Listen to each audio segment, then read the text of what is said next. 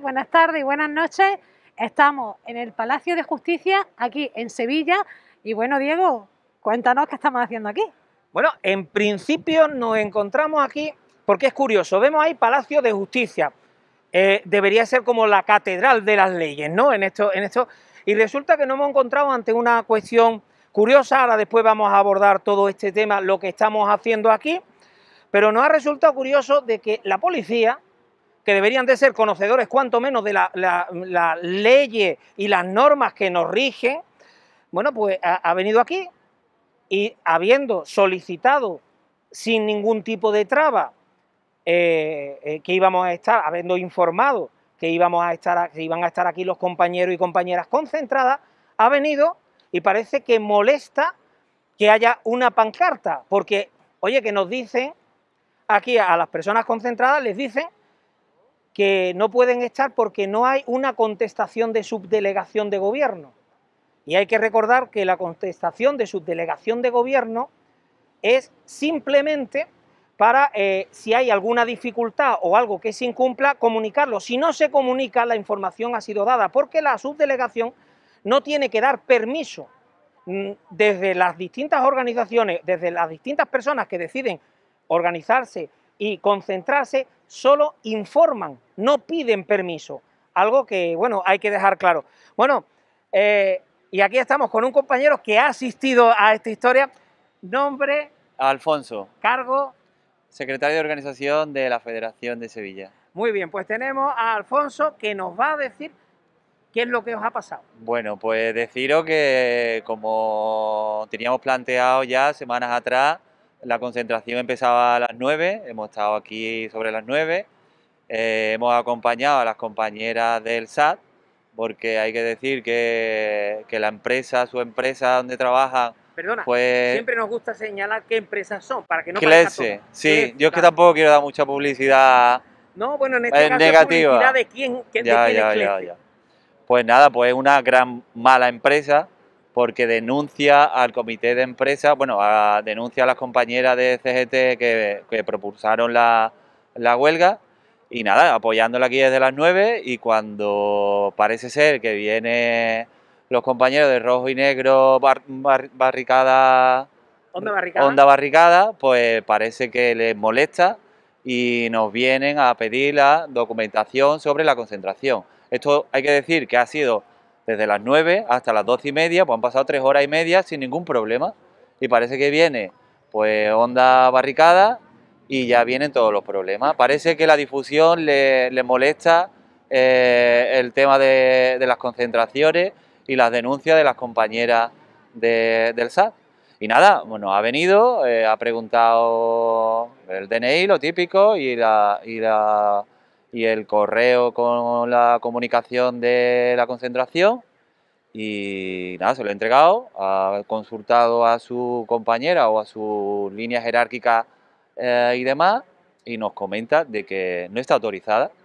Después de tres horas y media aquí, pues nos comenta de que no está autorizada, que por favor que quitemos las pancartas si no queremos problemas. Y, y eso es la historia, hemos tenido que recogerla porque no tenemos constancia ninguna de, que, era, de que no estaba autorizada. O sea, se ha echado el documento por la vía oficial, ¿no? Se ha informado correctamente, tiempo, forma. Claro. No se está haciendo nada fuera de lo normal. Nada, eh, apoyando simplemente a las compañeras porque están pasando un mal trago. Ella está, la empresa la ha denunciado por una huelga ilegal, que yo, eso de huelga ilegal, yo todavía no lo entiendo, pero pero sí, porque, esa es la denuncia. Bueno, hay que aclarar que esta huelga, huelga que, se, que se denuncia por parte de CLECE, una empresa, son muchas empresas del sector, y era una, una huelga no a la empresa CLECE, era en todo el servicio con infinidad de empresas que nadie se ha presentado a eso, simplemente CLECE, una empresa que acaba de despedir a una compañera en Almería, que ha hecho que no sigan trabajando dos mujeres embarazadas, es decir, esa empresa... Sí, otra vez eh, crece la... Otra vez crece.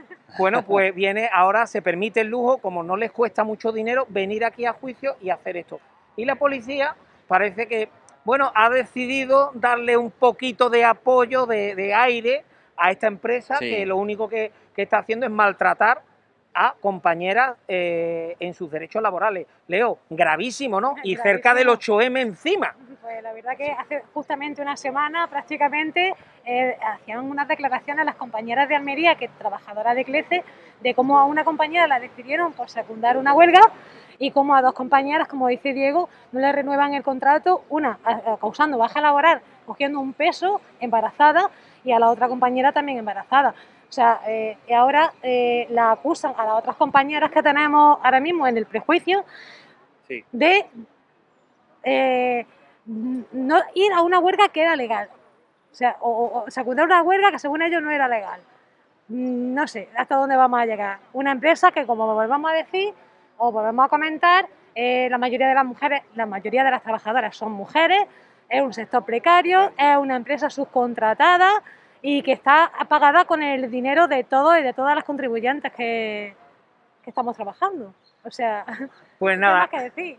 Pues creo, ahora veremos cómo ha salido el juicio, a qué acuerdo han llegado, lo seguiremos desde Onda Barricada, como no puede ser de otra manera, y por supuesto, eh, un tirón de orejas desde Onda Barricada al servicio de policía, a personas que deberían de conocer las, las leyes y las normas, y parece que no la conocen, puesto que, insistimos, se ha informado en tiempo y forma, no hay ninguna comunicación en contra de esto, se ha iniciado y horas pasadas, cuando ven que hay una cámara que va a recoger, que va a recoger eh, las imágenes, resulta que eh, lo impiden viniendo a amablemente, amablemente sugerir que si no se quiere problema, que mejor que se vayan.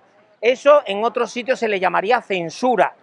Claro, la libertad de Totalmente. expresión yo creo que últimamente está un poquito como... Sí, parece que están por ahí los tiros, van, van callando cada vez más la clase obrera. Pues desde Onda Barricada, desde luego, eh, no nos vamos a callar y teníamos que decirlo aquí en vivo y en directo para que se escuche y para decir que tenemos derecho a expresarnos y tenemos derecho a poder estar en las calles porque las calles no es de nadie, es de la gente. Y si la gente se quiere, con todas las medidas de seguridad y cumpliendo las normativas, quiere estar, va a poder estar. Así que, bueno, nos despedimos a la espera de que vuelvan, de vuelvan los compañeros.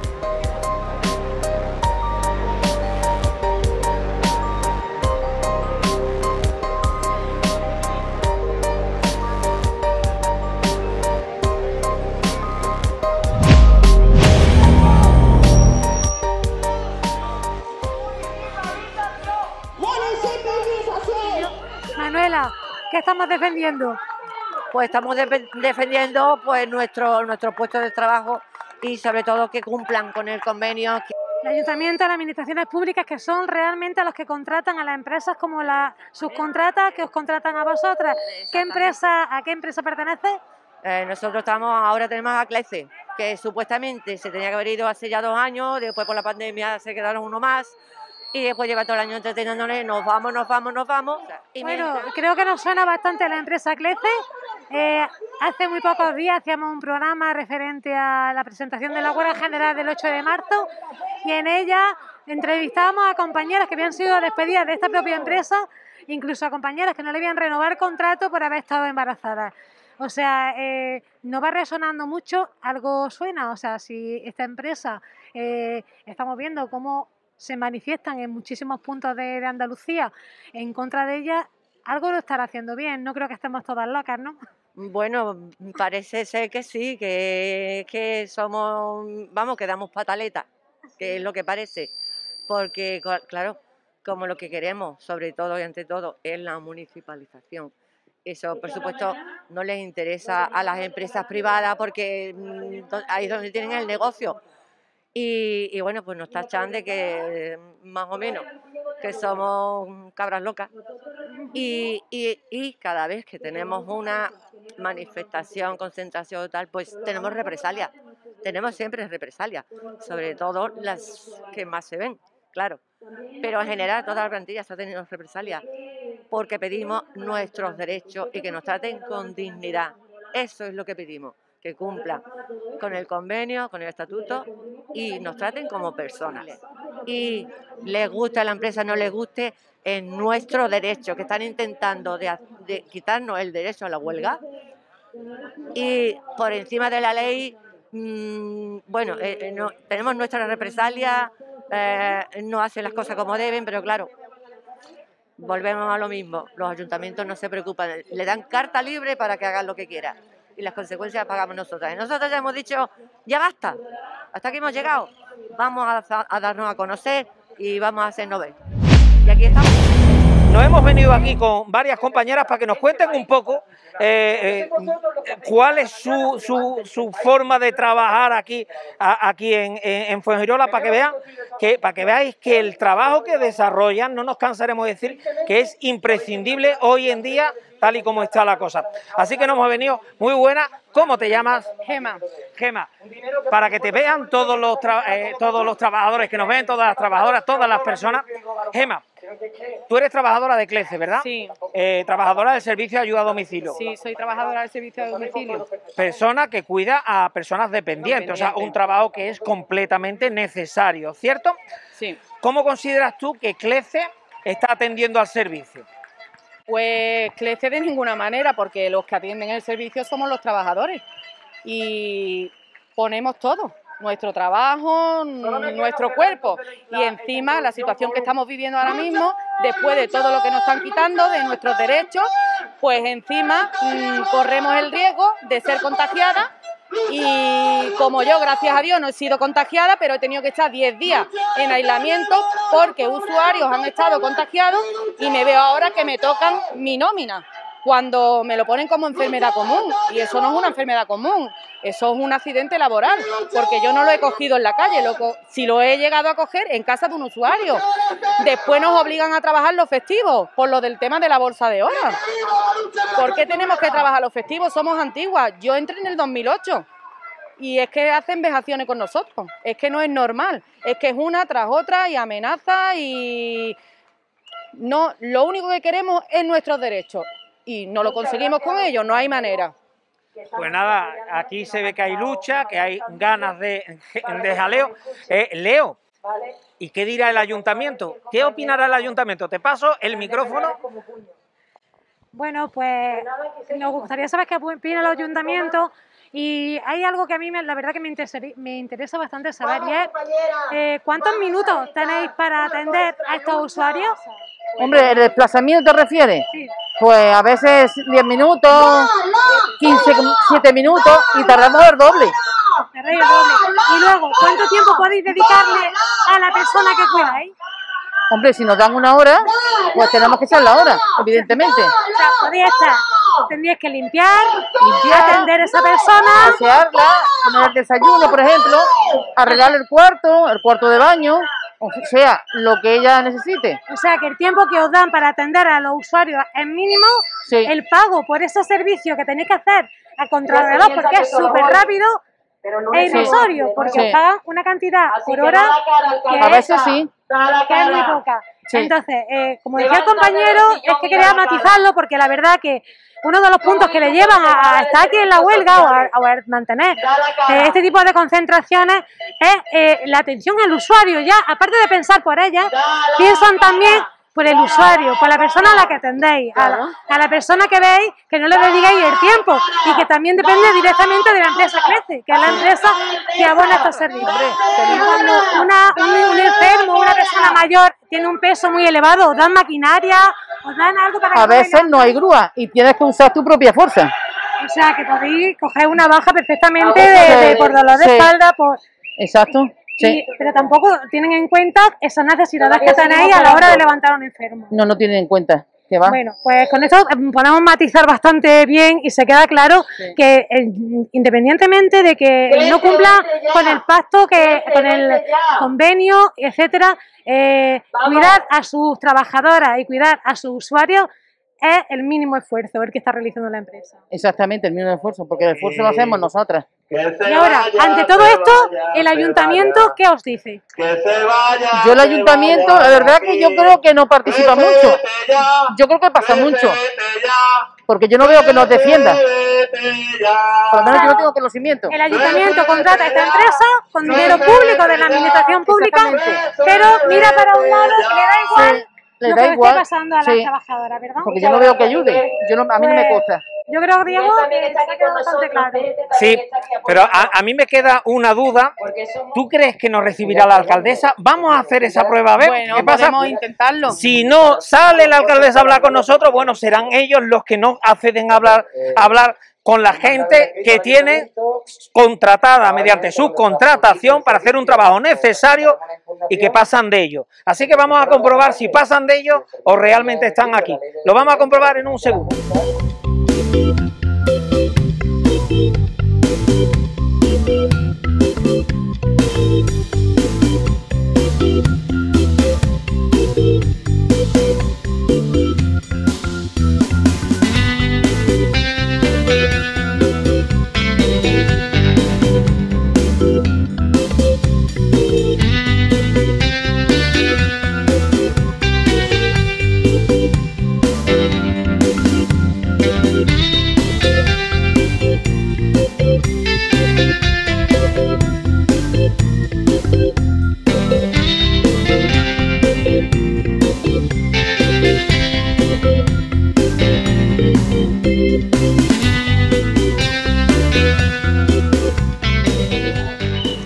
Pues Leo, lo hemos intentado, ¿no? Sí, hemos intentado hablar, hemos preguntado si podíamos ir a hablar con la alcaldesa y cuál ha sido la respuesta, Diego. Pues dice que no, que, bueno, ni tan siquiera han ido a, a preguntarle si podían ir, sencillamente dan una negativa, no quieren atender a medios, sencillamente parece como si fuéramos a pedir una cita, pues para cualquier otra cosa. Y le hemos dicho muy, muy explícitamente que como medio que somos, como medio de comunicación que somos, lo que queríamos es hablar con ella para que nos diga una palabra. Queda claro que no nos ha dicho. Hemos intentado que venga otra otra persona de aquí del ayuntamiento a ver si todo el mundo opina así. Vamos a ver si nos recibe esta otra persona y bueno, a ver si baja y nos habla. ¿No, Leo? ¿Habrá suerte? No lo sé. Bueno, pues nada, pues nos despedimos ahora mismo esperando con esa cuestión de que, de que salga. El problema que tenemos principalmente eh, con la remunicipalización del servicio en, eh, en Fuengirola es la mayoría absoluta que tiene el Partido Popular. El equipo de gobierno ha decidido que no quiere municipalizar el servicio. Como bien sabéis, el que el servicio sea gestionado de forma directa es una decisión política, no es una decisión técnica. Hay muchos ayuntamientos en Andalucía que prestan el servicio de forma directa, por tanto, no hay nada legal que impida esa gestión directa y que sea el ayuntamiento el que lo pueda realizar de forma directa. Y, y eso beneficiaría no solamente la calidad del servicio, evidentemente, sino también redundaría en unas mejores eh, condiciones salariales y laborales de las trabajadoras de- adscritas a ese servicio de ayuda a domicilio, pero este equipo de gobierno apuesta por las privatizaciones. Desde Izquierda Unida siempre hemos defendido la municipalización no solamente del, del servicio de ayuda a domicilio, sino de todos aquellos servicios públicos esenciales, como puede ser el agua, la basura, la limpieza, que están en manos privadas actualmente, y hay otros grupos como el Partido Socialista, incluso hasta el propio Partido Ciudadanos, que están o que ven esa posibilidad de la municipalización en función del tipo de servicio que se trate. En cuanto al servicio de ayuda a domicilio, hay partidos que ya también han dicho que apuestan o que podría ser interesante esa municipalización. Estamos ante un servicio que viene financiado por la Junta de Andalucía, por tanto, mejor o más fácil que remunicipalizar este servicio, pues pocos hay, porque el coste prácticamente lo asumen en su totalidad. la Junta de Andalucía, que financia a cada usuario, cada usuaria, con un precio hora muchísimo o bastante más elevado que lo que ofertan la- las empresas concesionarias. Por tanto, eh, creo que es uno de los servicios que es prioritario y que es de los más sencillos para remunicipalizar por parte del ayuntamiento. Lo que falta es voluntad política y este equipo de gobierno y este partido, pues ya sabemos que no está por lo público, no defiende lo público y aquí están los hechos.